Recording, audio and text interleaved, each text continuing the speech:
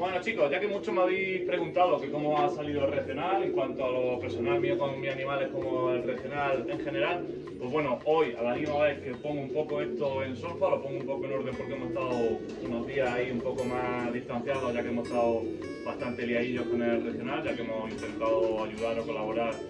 con la sociedad que lo ha organizado, que ha sido la sociedad de Caravaca. Dar la enhorabuena a Juan, ya que se ha pegado su buena briega de trabajo, de montaje, etcétera, etcétera. Lleva 10 días allí metido. Y poco más. También darle enhorabuena a Juanpe por ese campeón absoluto, con ese macho pichón, porcelano. Y nada, y como digo, la misma vez que voy a poner un poco esto en solfa, os voy a ir dando mi opinión al respecto sobre el regional y, poco más. Hoy muchos de vosotros me habéis preguntado cómo había salido en cuanto a lo personal. Y bueno, en cuanto a lo personal, pues bueno, contento porque bueno, hemos tenido seis premios, creo que han sido, y, bien, contento porque hemos tenido premios en casi todas las categorías, que era de lo que se trataba, estar un poco presente en todas ellas, y así ha salido, ha salido a pedir de boca, ¿vale? Después de las puntuaciones que ha habido en el regional en la raza de voy a hablar por la raza de los dinumucianos que es la que yo presento y toco. Pues bueno, como siempre digo, siempre mismo rollo diréis. Bueno, no hay otro que, por ejemplo, el que quiera eh, puntuar, pues bueno, que se ponga, porque no es una cosa fácil, no es una cosa que se pueda hacer así al tuntún, porque claro, luego estamos siempre los críticos, los cuales hablamos, y sobre todo, pues bueno, siempre hablamos los que no nos llevamos premios, porque vamos ahí siempre a ganar, eso está claro. Si llevamos un animal es porque pensamos que realmente tenemos opciones de ganar o de llevarnos un premio, simplemente. Entonces, claro, si no te llevas un premio y tenías pensamiento de que sí, porque creías que tu animal lo valía o crees que tu animal lo vale, pues bueno, como siempre digo, los que ganan son cuatro, ya que hay cuatro primeros, los que ganan son cuatro, el resto, pues claro, nos quejamos o no vemos el mismo punto de vista que un juez. Eh, dicho esto, en el próximo vídeo creo voy a hacer ahí un poco de, autocrítica, porque yo me voy a meter dentro del tema de los enjuiciamientos, porque hay muchas veces que llegamos a un concurso, y esto ya lo comenté no hace mucho, llegamos a un concurso y vemos animales, los cuales tienen un premio, y muchas veces no le encontramos la explicación, ya que es un palomo o una paloma, que bueno, sí, está bien, pero vemos otro al lado que a lo mejor mm, los vemos más completos, ¿vale?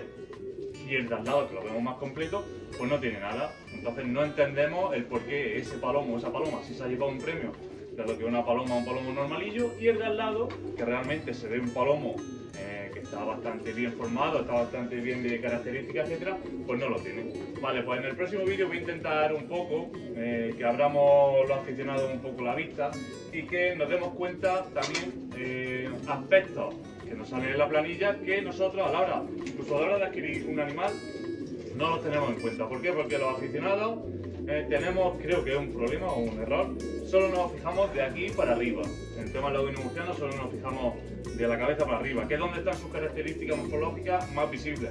como son el ribete, las narices, las verrugas, el pico y la cabeza. Solo nos fijamos en eso, pero en la planilla de enjuiciamiento hay otras muchas cosas que creo que muchos aficionados no sabemos ni cómo las deben de tener. Entonces, esto es lo que después, posteriormente, pues bueno, intentaré hacer un vídeo mostrando en la planilla las puntuaciones de cada cosa para que nos demos cuenta de que a una cosa tan importante o que tanta importancia le damos a los aficionados como puede ser un buen ojo,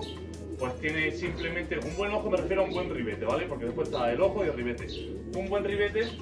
pues bueno, luego nos daremos cuenta de que ese ribete tiene 7 puntos. En cambio, un, buen cuello son 10 puntos.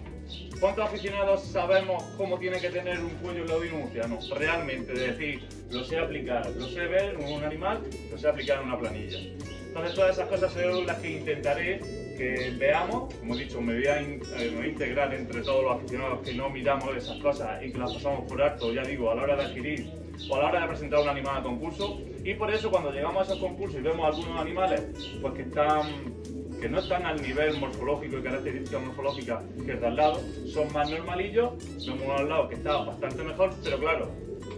que ese animal se haya quedado por encima del, otro, eh, tiene, los puntos tienen que salir de algún sitio, ¿vale? Sí que ya después cada juez lo puede interpretar de una manera de otra, que no debe ser así como hemos hablado mil veces, pero bueno.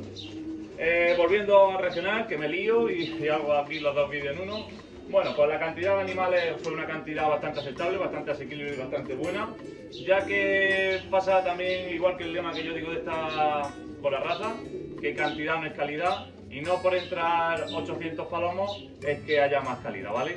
Eh, hubo una entrada bastante aceptable, con una calidad bastante buena, bastante buena, con razas de fuera, a la vista está de que a mí, por ejemplo, el animal que más me llamó la atención de todo el concurso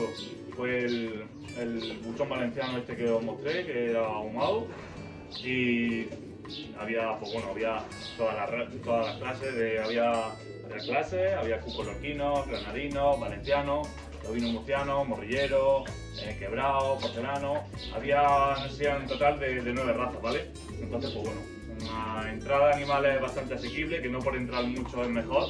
Y yo lo vi bastante, bastante bien. Después, como he comentado,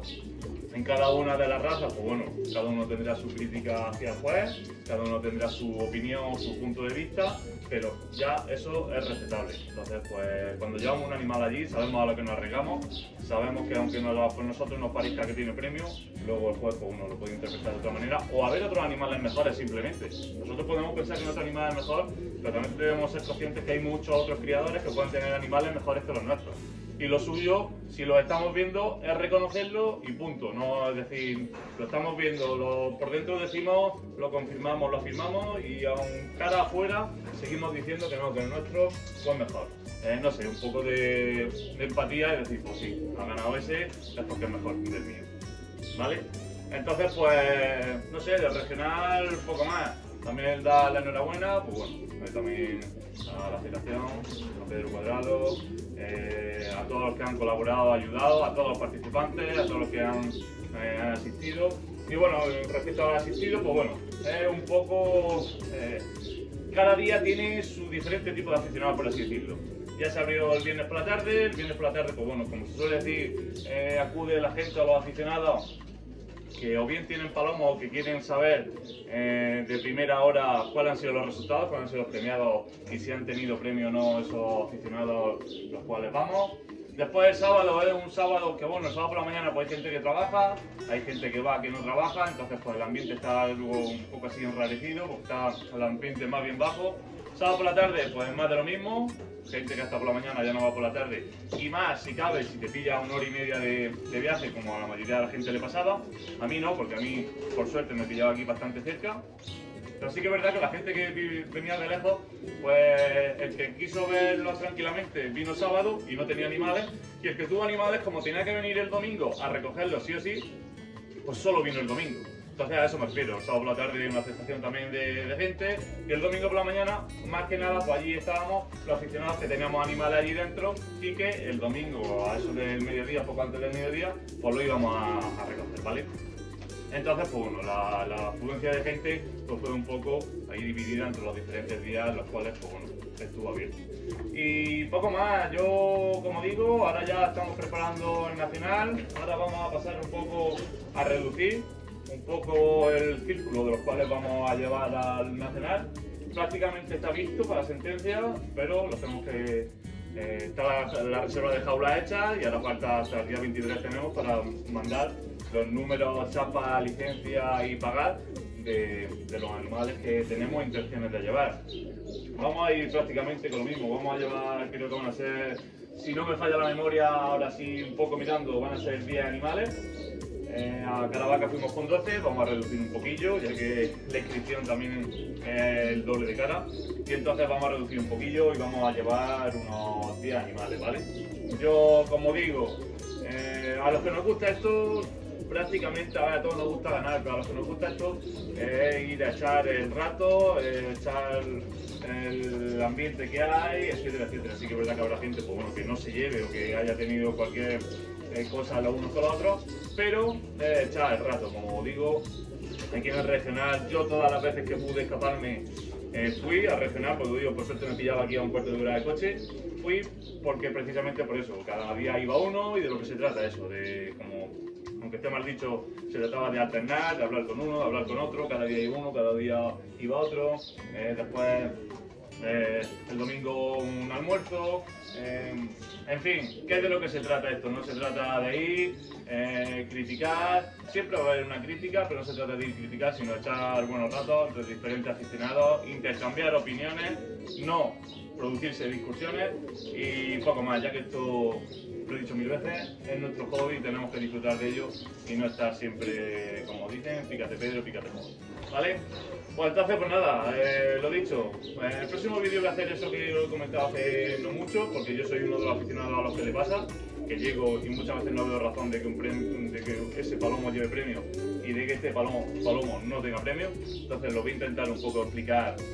un poco también mostrando imágenes de la planilla de enjuiciamiento, que me gustaría pues, que, bueno, que los aficionados a la hora de coger un palomo, una paloma para llevarlo a un concurso, pero no solo de esta raza los murcianos, sino de cualquier raza, de las que tienen estándar, antes de llevarlo, pues que coja una planilla en su casa, coja el animal y se ponga a rellenarla, ¿vale? Porque ahí nos damos cuenta de que hay muchos apartados los cuales eh, prácticamente desconocemos y de que esa característica no sabemos ni cómo tiene que tenerla, ni sabemos aplicarla a una planilla de enjuiciamiento desconociendo los puntos que conlleva, ¿vale? Entonces, pues bueno, voy a intentar explicarlo, hacerlo así a mi manera, un poco de aquella forma, pero espero que se entienda y, que nos demos cuenta de que hay más cosas en una planilla o en un animal que no solo de cuello para arriba en esta raza.